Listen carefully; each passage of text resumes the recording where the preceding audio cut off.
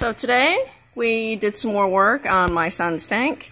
Originally our first tank, the 20, is now by the front door. Used to be over there. And we have in here seven Julies. And today we got six neon tetras. So that's what's in here so far. Perhaps get a betta in here. I don't know.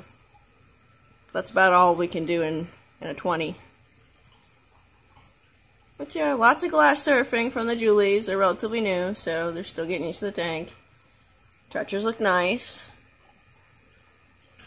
Yeah, I'm liking the look of the tank. We, we still need to get it back for every time we go to the store. They don't have the one I want. So hopefully soon they'll get it. And then today we also set up a little five gallon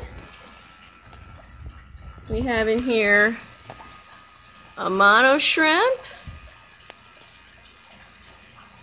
and pond snails.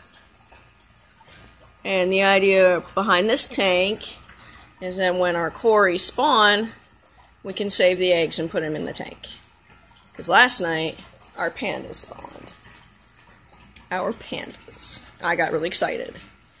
So, once I get better at it and their eggs seem, seem to be viable, we're going to throw them in here. And the squirties. Of course, the squirties. Basking. Oh, yes. The squirties. There we go. So, yeah, he's doing well. Becoming more like himself. Down here, is the Murph. He hasn't been doing too hot. He's on some medicine and he's resting. I spend about half the night on the floor with him here. The 40 breeder. Glare is always a problem with this tank. But like I said, the pandas were in here spawning last night.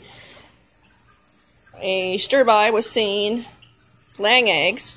Not sure if we have a sterbai pair or not, but we're going to be watching this tank and seeing what's happening. The peppers, they spawn quite often, so that's no big deal.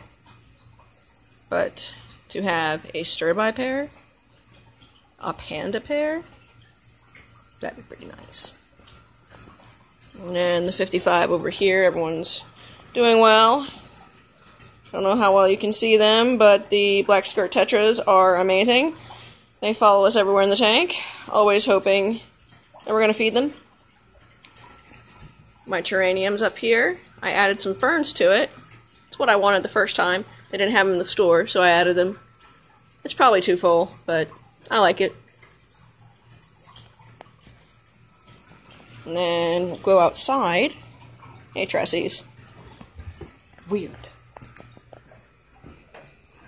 and look at the pond. Probably won't see anything out here. He picked out a goldfish, no, a koi yesterday. It was yellow in color. Not sure if they're going to come out. It is kind of hot today. They did just get fed, but so far everyone looks good. So yeah, that's how it's been lately. We have baby minnows though, so that's pretty exciting. Oh yes.